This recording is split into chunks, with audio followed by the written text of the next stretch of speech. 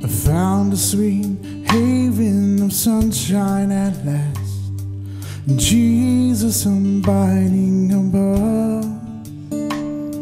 His dear arms around me are lovingly cast, and sweetly he tells of his love. kind of recap a little bit that we talked about last week, and then um, dive into some things this this uh, this morning. To recap what we talked about last week, First uh, Thessalonians five eighteen is where we were, and uh, it says, "In everything give thanks, for this is the will of God in Christ Jesus concerning you." And we looked at it from the aspect of.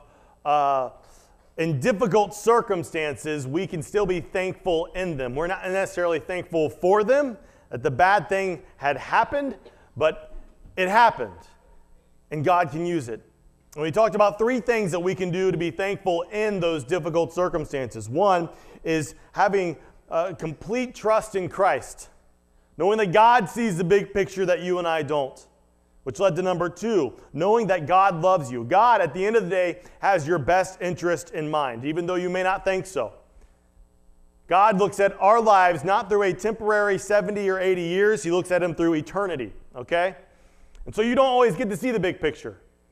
And I don't always get to see the big picture. That's where faith comes in, and you trust the one who does see the big picture. And then finally, we talked about last week how God can use our difficulty and make good come out of it. We gave several different examples. I don't want to belabor the point, but Romans 8:28 tells us that God can uh, use all things for good to them that love him and are called according to his purpose. God can do absolutely anything.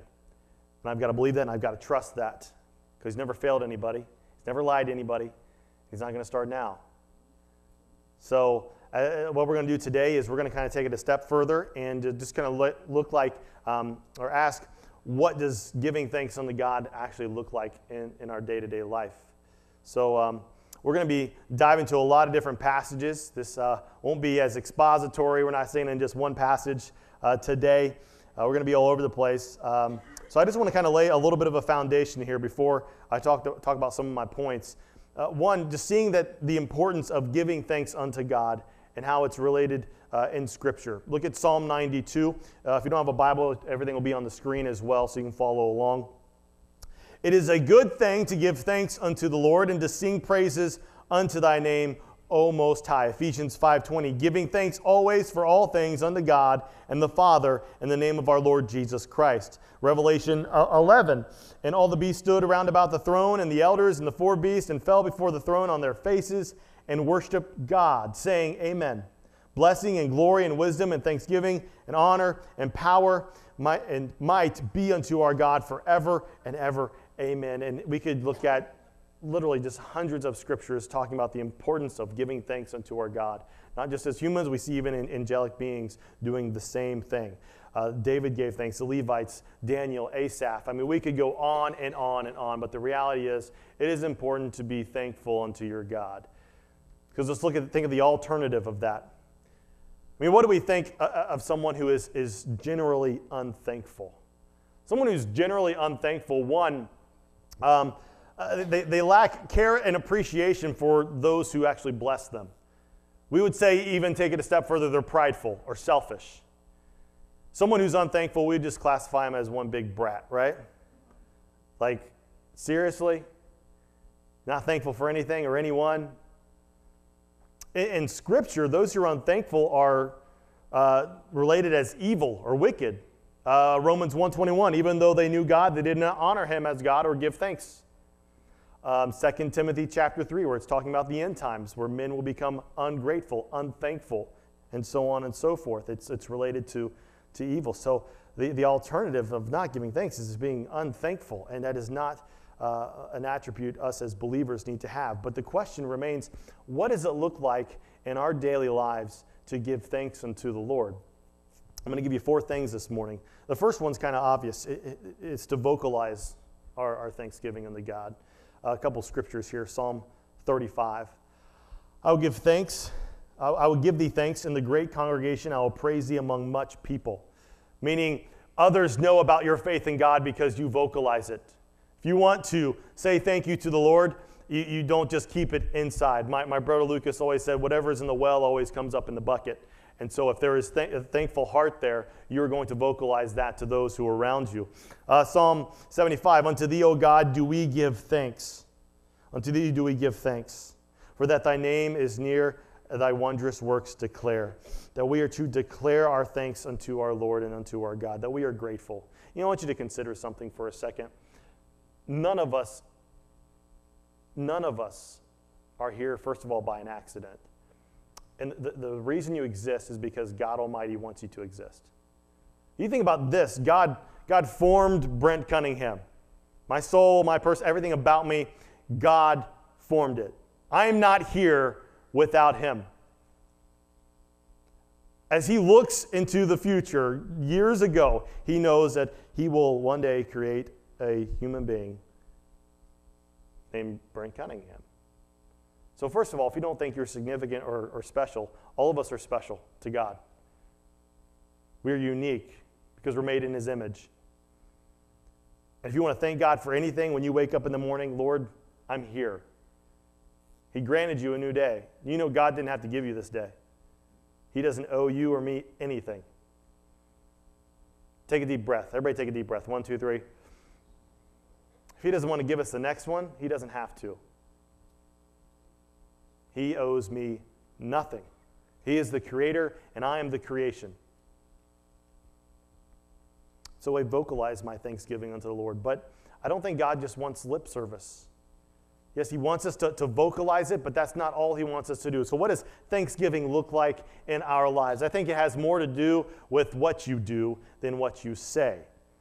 This isn't on the screen, but if you want to write it down and check it out later, Colossians 3:17 it says, "And whatsoever you do in word or deed, do all in the name of the Lord Jesus Christ, giving thanks to the to God and the Father by him." Whatever you're doing, what you say or whatever you do, it is to give thanks unto our God. So, how are you going to give thanks to the Lord? How am I going to give thanks to the Lord? I'm going to give you a, a couple other things that we can do. We know to vocalize it, that's easy but to show it. Let me give you a couple things. First thing here, in, in actually doing something to communicate thanksgiving to God, is to be willing to sacrifice for Him. Be willing to sacrifice for your God. Sacrifice is an act of giving up something valued for the sake of something else regarded as more important or worthy. The act of giving up something valued, meaning this is important to you, for the sake of something else that is more important to you. See, a lot of the reasons Christians don't sacrifice for the Lord is because possibly they don't value Him as much as they value their comfort or the ease or, or whatever it is they're valuing. Our thanksgiving unto God is to sacrifice for Him. Lord, what do you want me to give up? Or what steps do I need? Sacrifice isn't always necessarily giving something up as it is taking steps that are intimidating or scary. Lord, I'm going to do this for you. Psalm 107, it says, Oh, that men would praise the Lord for his goodness and for his wonderful works to the children of men. And let them sacrifice the sacrifices of thanksgiving and declare his works with rejoicing. Hebrews 13, 15 puts both vocal and sacrifice together. By him, therefore, let us offer the sacrifice of praise unto, the God, unto God continually. That is the fruit of our lips, giving thanks unto his name. Sacrifice by our praise and singing and declaring to mankind, and sacrifice of our, our money, our time, our effort, our talent. That God, you are worth this. It is worth inconveniencing myself. I want to communicate thanksgiving to God. I just don't give him lip service. I am willing to sacrifice for him. Another one would be uh, having compassion on people. I want to give thanks unto God. You look at people the way He looks at people. This is what compassion is sympathetic pity and concern for the sufferings or misfortunes of others. When Jesus was preaching to the multitude, it says he was moved on them with compassion because they were as sheep having no shepherd. He had sympathetic pity and concern for the sufferings, misfortunes of others. If I want to give thanks unto my God, I look at people the way that He looks at them. 1 Timothy chapter 2 I exhort, therefore, that first of all, supplications, prayers, intercessions, giving of thanks be made for all men. Does it say all good men? No, all. Across the board. Excuse me, for kings and for all that are in authority, that we may lead a quiet and peaceable life in all godliness and honesty, for this is good and acceptable in the sight of God our Savior, who would have all men to be saved and to come into the knowledge of the truth. This knowledge of the truth in 2 Corinthians 9, it says it is an unspeakable gift. It is just absolutely marvelous. Salvation is what Paul is talking about. To have compassion on people. I think we're challenged with this, uh, especially today with uh, the Syrian refugee uh, issue going on. And I want to preface this real quick because I, I, don't, I don't preach on politics. Um, I was telling the early service, I, I've got better things to talk about behind the pulpit than politics. Not that you shouldn't be involved in politics, not that you shouldn't be an educated voter, not that the issues aren't important, but preaching about Obamacare is it doesn't have place behind the pulpit. Like I said, I've got the word of God to preach. And sometimes political issues and scriptural issues, they come together and there has to be something, uh, something said. And so um, when, it, when it comes to this issue, um, uh, red state, blue state, uh, Republican or Democrat. First of all, I'm not a Republican or a Democrat. I don't like either of them, okay? I classify myself as, as an independent, so um, I just want you to know my heart as what I'm going to say here because it's important when we look at issues, we're looking at issues through our worldview, not through our political preference. Uh, decisions I make are, are, are made based upon the fact that I am a follower of Jesus Christ. Okay? And so when I, am thinking about, uh, I was thinking about this, this message and, and having compassion and how to communicate thanks unto God is by looking at people the way that He looks at them. Um, he sees these Syrians, and, and think about it, Jesus died for them just as much as He died for everybody in this room. Right? I mean, He's hanging on the cross, going through hell. He's doing it for Syrian refugees too. Um, one of the, the things that, that made Jesus such a revolutionary was the stuff that he said. He said, You love other people as yourself. He said, To love your enemies.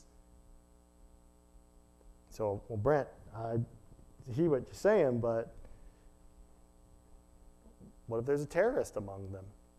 And again, I, I'm not pointing out I'm not saying how many should be or shouldn't be coming over here. That's, that's up to the government. The government, the House just passed a bill making uh, the background checks a lot more strict, which that's good. You should do that, right? To, to make sure that, that we are safe. But, but let's, let's ask those questions. The what ifs. What if uh, among those 10,000, and then and kind of the viewpoint I'm taking here is 10,000 are coming, and how do we respond as believers? If there are terrorists uh, among them. You know, we're trying to look at people with compassion. Look at them as Jesus looked at them. Uh, we need to consider some of the things that, that Jesus said. One, he, he told his disciples, I send you forth as sheep among what? Wolves. Does that sound safe to you? No. I send you forth as sheep among wolves. You see, what we're starting to experience here in, in great, uh, our great country in America is what Christians in the Middle East have dealt with for centuries the risk of following Jesus. There's risk involved. And I would, I would go a step further. What are we afraid of? At the end of the day, what are you so scared about? Let me quote, let's look at Matthew. Let's talk what, what Jesus says here. We'll skip down to verse 28. Fear not them which kill the body, but are not able to kill the soul, but rather fear him which is able to destroy both soul and body in hell. Jesus says in verse 28, you don't, you don't be afraid of those who can kill your body. Did you know God knows when I'm going to die? A terrorist does not have the final say of when Brent Cunningham dies, though they may pull the trigger. God does not want me on this earth. The one who, who brought me life, brought me into this world, knows when I will be leaving this world. And I don't live for this world, I'm living for eternity. So, what do I have to be scared about? God has not given me the spirit of fear, but of power and of love and of a sound mind. What are you so afraid of? As I mentioned face, uh, on Facebook a while back, um, maybe because none of us signed up to be missionaries to the Middle East, God is sending the Middle East to us. Do you ever think about that? God's ways are not our ways. What if this is how he's going to evangelize Syria in the decades to come? What if 10,000 people come over here? Let's say 10% of them start following Jesus because they're in America, the land of the free and the home of the brave, where we can preach the gospel. And let's say they get saved and decide to go back to their home. And they can reach people in ways that we couldn't over there. Couldn't they? They know the culture, they know everything about it. Is that possible? Of course it's possible. Can't say that it's not. What are we so afraid of? I'm not saying don't defend yourself. I was telling the early service, there are more guns in this little church than there probably are in most big churches. I'm dead serious. We have a lot of concealed carry folks. They ask permission, and I welcome your guns. That's fine. Take care of your family. If you break into my home, I will shoot you and kill you. I will. Jesus said those who don't take care of their family are worse than an infidel. If it's my family or you, you lose. And if you think, well, Brent, you're wrong, well, we can take it up in heaven and talk about it then, but I'm not going to, I'm going to protect my family.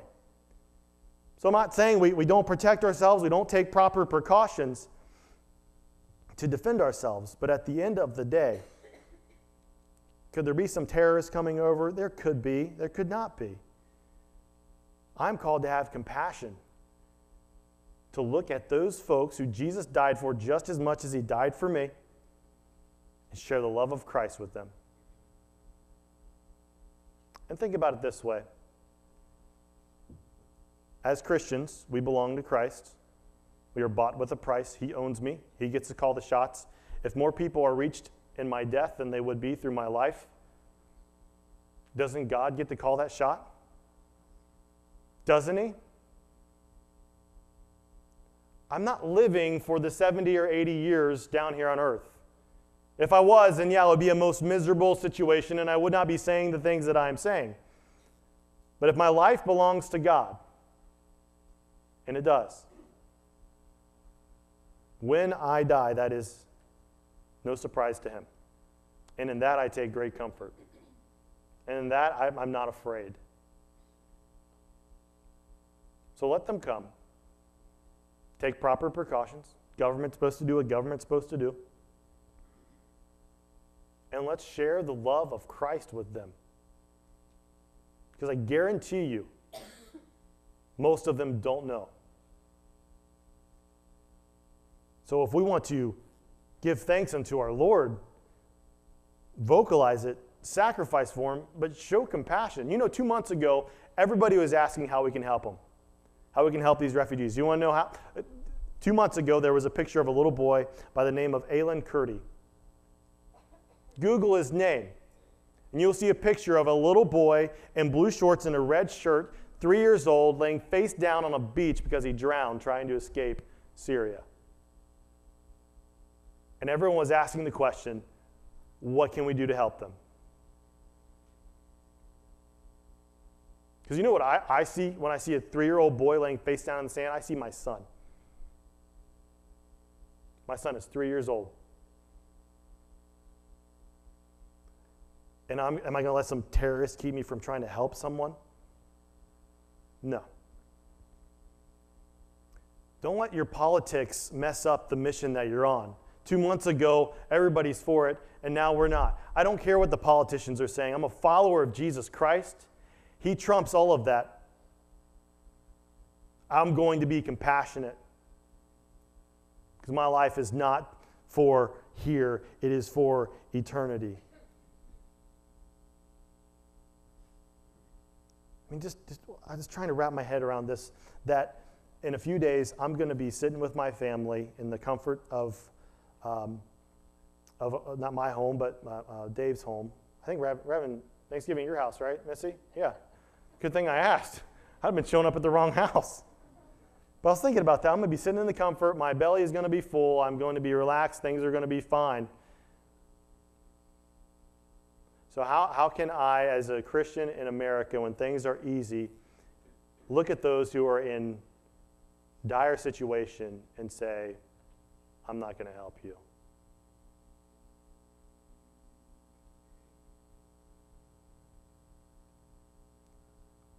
As Christians, I don't think we, we are to do that. I love, uh, I was reading about one missionary. I think he was going to Fiji. I couldn't remember in the early service, and I don't remember now. But he, he had a missionary team, and they were going, and uh, they're on a ferry, and they know where they were going. The tribes they were trying to reach had cannibals. And the ferry captain said, you, you guys understand where I'm taking you. These people are savages, they're cannibals. I mean, they will kill you and eat you. He said, You are most likely going to die if I drop you off here. Do you really want me to do this? Because you're going to die. And the missionary said this He said, Captain, we died before we ever stepped foot on this ferry. We died before we stepped foot here. That my wants, my desires are dead and alive to Christ. Look at Matthew 16. Then said Jesus unto his disciples, If any man will come after me, let him deny himself, take up his cross, and follow me. For whosoever shall save his life shall lose it, and whosoever shall lose his life for my sake shall find it. For what is a man profit if he shall gain the whole world and lose his own soul? Or what shall a man give in exchange for his soul. We're already dead. Dead to our wants, our desires, and alive to Christ. So I'm not afraid. In fact, we should probably be afraid for, for them. Most of these people don't know Christ. Most of our neighbors don't know Christ. If we're going to be fearful for anyone, it shouldn't be for ourselves as believers, it should be for those who are facing an eternity without God. That is terrifying. You want to give thanks to the Lord? Just don't give him lip service. Be willing to sacrifice for him. Be willing to be compassionate. Put yourself in the shoes of other individuals and their plight. And all this kind of comes down to the last one I'll mention here is you want to give thanks unto God? Do it by loving others, loving Him, loving others. You know, in Acts chapter 9, I'm not going to have you turn there, but you can write it down. Paul gets saved. You don't know who Paul is. His name was Saul. He was a Pharisee, and he would arrest Christians. Pharisee was a lawyer. Let me preface that real quick. Um, a Jewish lawyer. And his job, he would arrest Christians. The very first martyr, Christian to die for their faith, they took his clothes off of him. His name was Stephen. You can read about it in Acts chapter 8. They take his clothes off to him, off of him, and they lay him at the feet of this guy, Saul. He was there. He saw it happen. In fact, he encouraged it. You get to Acts chapter 9, this guy named Saul does something nobody thought. He starts following the same Jesus he was arresting people for starts following Christ. In Acts chapter 9, the Jews try to kill Paul. He gets in a basket, they lower him over the wall, he's able to escape. I never had anybody try to kill me or want to kill me. My dad, maybe once when I was like a teenager, but uh, deep down, I've never had such a threat. And look what Paul says about these people in Romans chapter 9. If we want to say thanks unto God, we are to see people as he sees them and to love them as God loves them. Take a look at Romans chapter 9. I say the truth in Christ. I lie not, my conscience also bearing me witness in the Holy Ghost. Paul is saying basically, what I'm about to tell you, I mean with absolutely everything that is in me. He said, I have great heaviness and continual sorrow in my heart. For I could wish that myself were accursed from Christ for my brethren and my kinsmen according to the flesh.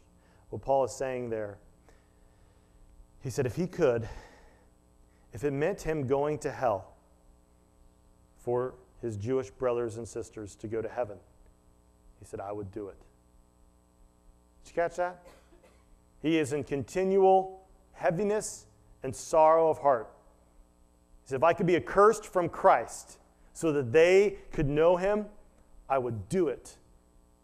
The same people that tried to kill him. See, Paul is looking at the eternal perspective because he loves them deeply. When Christ says to love your neighbor, church, that means even if your neighbor is an atheist, even if your neighbor disagrees with you in politics, or, or if your neighbor uh, is, is gay, or if your neighbor is Muslim or, or Buddhist, love your neighbor as yourself. If I really want to give thanks to God, essentially what all this is boiling down to, I do what He says. I obey Him. I'm not saying it's easy. But if we look at the big picture, and as we talk about Thanksgiving, as we are in this season, Thanksgiving should, should be more than, than just something we say. It should be a day to day of what am I doing to show God I am thankful for Him. And at the end of the day, it's sacrifice for Him. Have compassion. Love Him and love others. You want to say thanks to God? Do that. It's not easy, but it's worth it. So I need you to ask yourself a question as we're about to pray here is in what way that I just mentioned are you lacking when it comes to giving thanks to God? Is it compassion? Are you quick to condemn people? Say, yeah, get them all out of here. This is our country. I'm sure the Indians said the same thing too, but that's a different story, right? We're lacking compassion? Are we lacking love? Putting ourselves in the, the shoes of other people? Or is it sacrifice? I'm not going to do that, Brent, because one, it's hard and it makes me uncomfortable. Well, carrying a cross up a hill and being crucified for all humanity was pretty hard too. So suck it up. Show some thanks unto the Lord. We are so, sometimes so entrenched in our American Christianity, which loves to be comfortable, doesn't love to do too much, doesn't want to do too little, want to make ourselves feel good. We got to step out of our comfort zone and serve the Lord. Or maybe it's vocalizing your thanks unto God. Letting others people, other people know that God gets the credit what's going on in my life. You see, the Lord is so quick to get blamed for the bad and so slow to get any credit for the good, isn't he? People love to blame God when bad things happen, but when good things happen, well, I did that on my own. No, you didn't. If you, if you can't even draw your next breath without His help, then how do you think you're going to get an interview? or, or, or good things are going to take. How, how is that possible? Every good and perfect gift comes from above. Everything I am, everything I have, anything that's good about me is because of God Almighty. And with that, I am incredibly indebted to Him and need to give Him thanks. Would you bow with me this morning?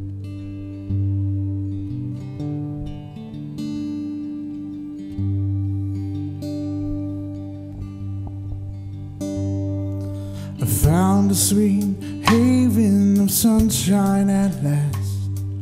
Jesus abiding above. His dear arms around me are lovingly cast, and sweetly he tells of his love. The tempest is o'er, I'm safe evermore When gladness, when rapture is mine. The danger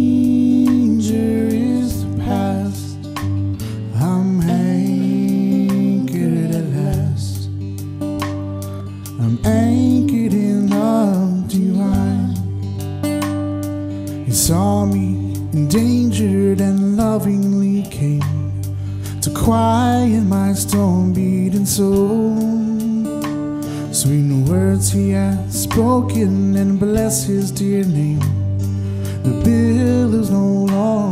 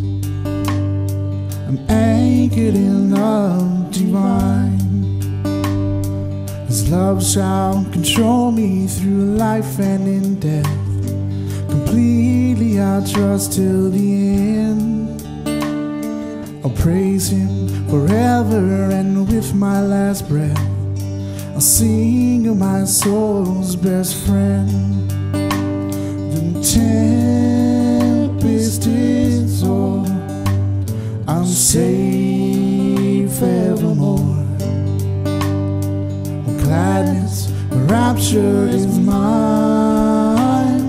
The danger